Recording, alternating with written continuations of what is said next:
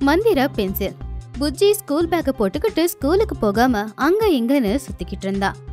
புஜ்ஜியோட ஸ்கூல்ல இருந்து அவ ஸ்கூலுக்கு வரமாட்டேங்கிற அப்படின்னு ஃபோன் வந்ததுனால துணி அவளை தேடிக்கிட்டு போனான் அப்படி கொஞ்ச நேரம் அங்க இங்கன்னு தேடிக்கிட்டு போகும்போது புஜ்ஜி ஒரு இடத்துல உக்காந்துக்கிட்டு காத்தாடி பறக்க வச்சுக்கிட்டு இருந்தா. அதை பார்த்ததுமே துணிக்கு ரொம்ப கோவம் வந்து சத்தமா கத்துனா. ஏய் புஜ்ஜி காலையில போக சொல்லி உன்னை ஸ்கூலுக்கு அனுப்பிச்சா? நீ ஸ்கூலுக்கு போகாம இப்படி காத்தாடி விட்டுக்கிட்டு விளையாடிக்கிட்டு இருக்கியா? உன்னை என்ன செய்யறேன்னு பாரு. அப்படி ஒரு குச்சி எடுத்துக்கிட்டு அவளை அடிக்க வரும்போது அத பார்த்து புஜ்ஜி காத்தாடிய அங்கேயே தூக்கி போட்டுட்டு பறந்து போயிட்டா ஐயோ நான் இங்க இருக்கிறது எப்படி எங்க அம்மாவுக்கு தெரிஞ்சது? லூசி தான் என்ன பார்த்துட்டு அம்மா கிட்ட சொல்லிருக்குமோன்னு எனக்கு சந்தேகமா இருக்கு. கண்டிப்பா அந்த லூசி தான் போட்டு கொடுத்துருக்கணும். ம் லூசி இரு இரு. நான் எங்க அம்மா கிட்ட இருந்து எஸ்கேப் ஆகி நேரா உன்கிட்ட தான் வரேன். அப்படி யோசிச்சுக்கிட்டு அவ வேகமா அவங்க அம்மா கிட்ட மாட்டக்கூடாதுன்னு பறந்து போய்கிட்டு இருந்தா.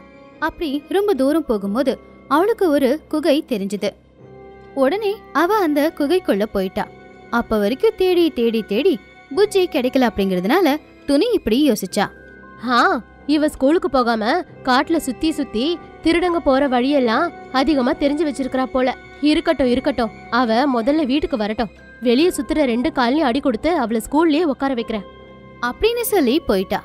குகைக்குள்ள போன புஜ்ஜி அம்மா மேல இருக்கிற பயத்துல அங்கேயே இருந்துட்டா.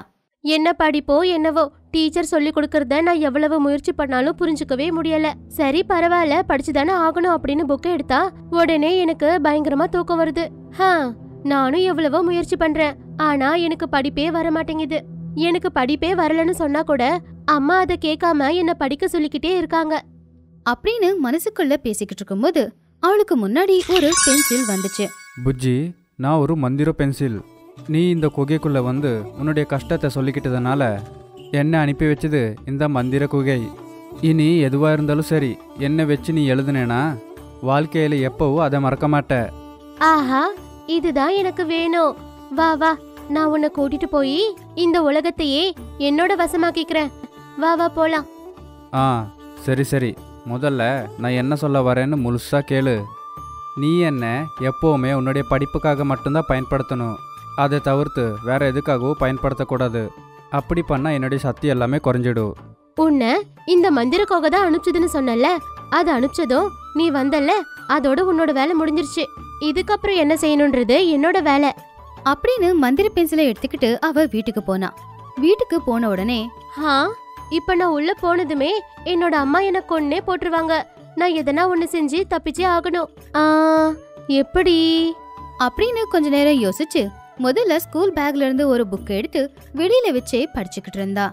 புஜ்ஜி நீ எதை படிக்கணும்? எது உன்னுடைய ஞாபகத்தில் இருக்கணும்? அப்படின்னு நினைக்கிறியோ அதை என்ன வச்சு எழுது? அடச்சி நீ வேற குறுக்கல. எங்க அம்மா என்ன பார்த்தா அவங்க எப்படி ரியாக்ட் ஆவாங்கன்னு எனக்கு தெரியல. நானே டென்ஷன்ல செத்துக்கிட்டு இருக்கேன் நீ வேற குறுக்கல நின்னு நின்னு நானு பேசிக்கிட்டே இருக்கிற. கொஞ்சம் அமைதியா இரு. அப்படின்னு சொல்லிக்கிட்டு இருக்கும்போது துணி வெளியே வந்ததும் புஜ்ஜி பக்கத்துல இருக்கிற ஒரு புக்ல ஏதோ ஒன்னு பார்த்து எழுதிக்கிட்டு இருந்தா.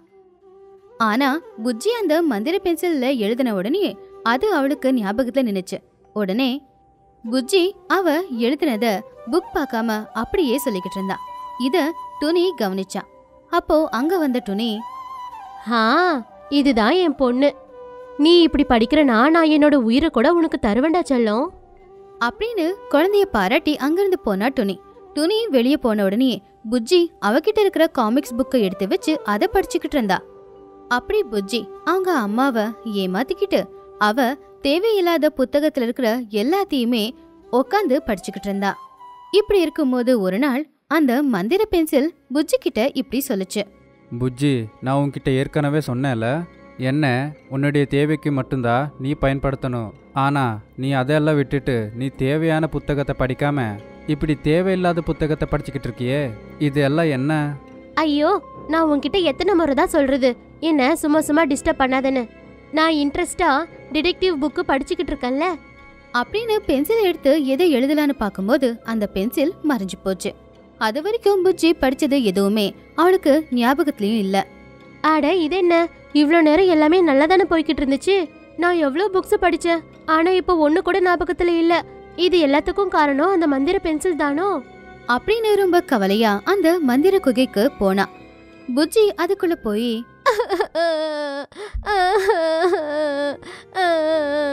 இங்கே பாரு புஜ்ஜி உன்னுடைய கஷ்டத்தை பார்த்துதா உதவி செய்கிறதுக்காக அந்த மந்திர பென்சிலை நான் உனக்கு கொடுத்தேன். ஆனால் நீ அதை தேவைக்கு பயன்படுத்தலை. அதனால் உன்னுடைய கஷ்டத்தை நீயே பார்த்துக்கோ. அப்படி சொல்லாத மந்திரக்கோக.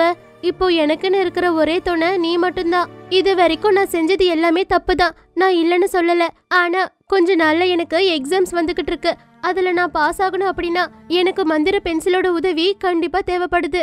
இந்த ஒரு முறை மட்டும் என்ன மன்னிச்சு விட்டுறியா? அப்படின்னு புஜ்ஜி கெஞ்சி கேட்டதுனால அந்த மந்திர குகை மறுபடியும் பென்சிலை கொடுத்துச்சு. அன்னையில இருந்து புஜ்ஜி ரொம்ப கஷ்டப்பட்டு பென்சில் மூலமா படிச்சு எக்ஸாம் எழுதி அதுல நல்ல மார்க்கையும் வாங்கினா. அதுக்கப்புறம் மந்திர குகைக்கு வந்து அவ இப்படி சொன்னா. மந்திர பென்சில கொடுத்த மந்திர கொகையே இது எல்லாமே உன்னால தான் நடந்துச்சு. எப்பவும் எக்ஸாம்ல நான் ஜீரோ தான் வாங்குவேன். ஆனா இன்னைக்கு பாஸ் ஆயிட்டேன். மந்திர கொகையே உனக்கு ரொம்ப ரொம்ப நன்றி. ம் மொதல் தடவை நான் உனக்கு கொடுத்தேனே அது மந்திர பென்சில் தான். ஆனால் ரெண்டாவது தடவை கொடுத்தேனே அது சாதாரண பென்சில் ஆனால் உன்கிட்ட மந்திர பென்சில் இருக்குங்கிற நம்பிக்கையில் படித்ததுனால எல்லா எக்ஸாம்லேயும் நீ பாஸ் ஆயிருக்க. அவ்வளவுதான் அதனால தான் எந்த வேலையும் செய்கிறதுக்கு முன்னாடி நம்மளால் செய்ய முடியுமான்னு சந்தேகப்படுறதை விட்டு செஞ்சு காட்டணும்னு ஒரு முடிவு எடுக்கணும். அப்போதான் நாம் எந்த வேலையையும் செய்ய முடியும்.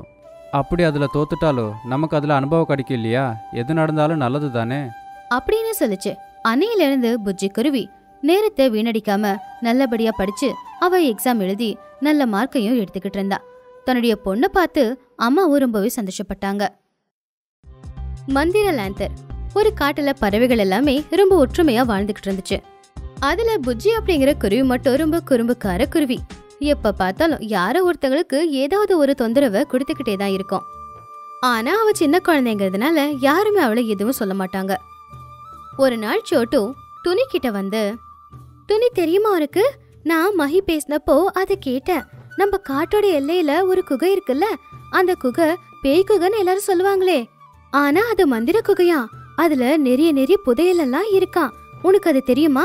ஹா நீ ரிப்போர்ட்டர்ஸ் மாதிரி ஏதோ பிரேக்கிங் நியூஸ்னு வந்ததும் நிஜமா ஏதோ புதிய விஷயத்த பத்தி சொல்ல போறேன்னு நினைச்சேன். ஹ ஏன் சின்ன வயசுல இருந்து எல்லாரும் சொன்ன கதையை கேட்டு தெரிஞ்சுட்டு வந்து நீ ஏதோ புதுசா எதையோ கண்டுபிடிச்ச மாதிரி பெரிய சயின்டிஸ்ட் மாதிரி இங்க வந்துட்டியே.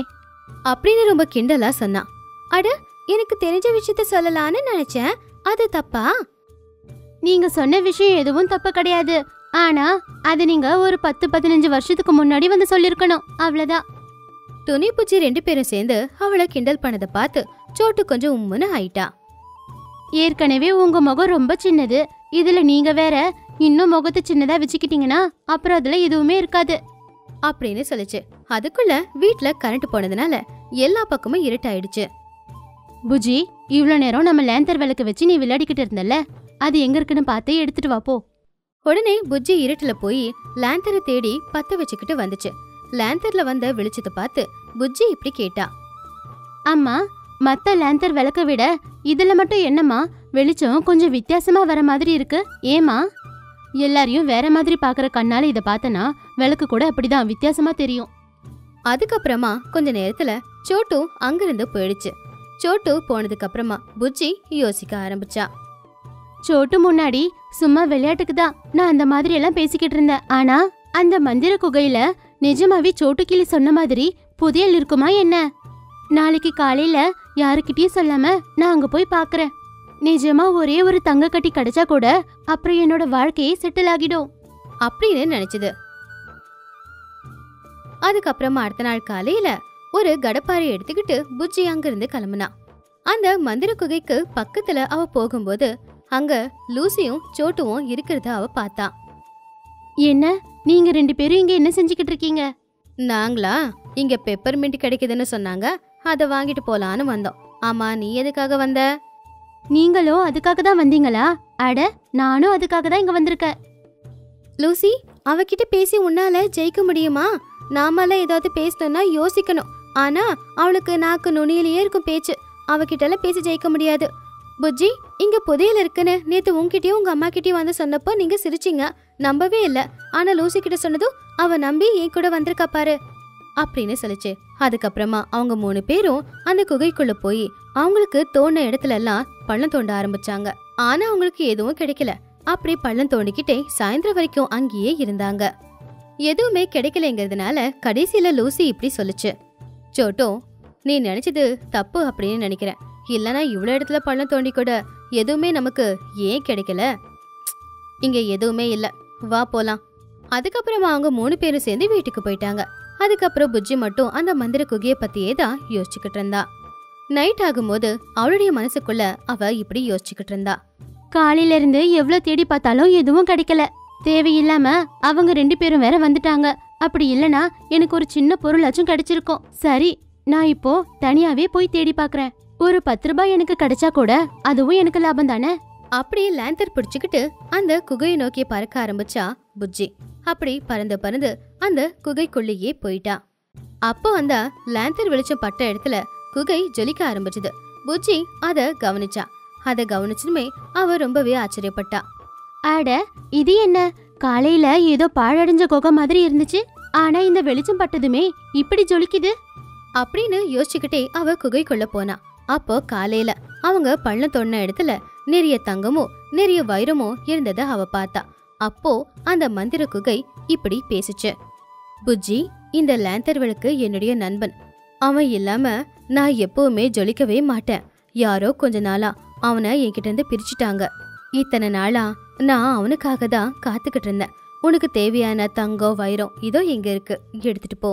ஆனா அந்த விளக்க மட்டும் இங்கேயே விட்டுட்டு போ அப்படின்னு சொல்லுச்சு. அதுக்கப்புறமா புஜ்ஜி ஒரு பெரிய முட்டையில அந்த தங்கம் வைரம் எல்லாத்தையுமே கட்டிக்கிட்டு அதை எடுத்துக்கிட்டு அவ நேரா வீட்டுக்கு வந்தா. துணிக்கு முன்னாடி அந்த மூட்டையை பிரிச்சு வச்சு நடந்த எல்லா விஷயத்தையுமே சொன்னா. அடி உனக்கு கொஞ்சமாச்சும் அறிவு இருக்காடி. இந்த வைரத்துக்காக தங்கம் மாதிரி இருந்த விளக்க அங்கேயே விட்டுட்டு வந்துட்டியா? அம்மா எனக்கு இல்ல. உனக்கு தான் சுத்தமா அறிவில்ல. அப்படின்னு நான் சொல்லலனாலும் அதுதாம்மா உண்மை. நான் ரொம்ப மதிப்புள்ள வைரத்தையும் தங்கத்தையும் எடுத்துட்டு வந்திருக்கிறேன். ஆனா நீ அந்த பழைய விளக்க போய் கேக்குறியாம்மா? அது மட்டும் இல்ல அந்த விளக்கு அங்க போனதுனால தான் இது எல்லாமே நமக்கு கிடைச்சிருக்கு. வேணும்னா இதை வித்து வர காசுல உனக்கு எத்தனை லேந்தர் விளக்கு வேணுமோ அத்தனையும் வாங்கிக்கோ. அப்படின்னு சொல்லுச்சு.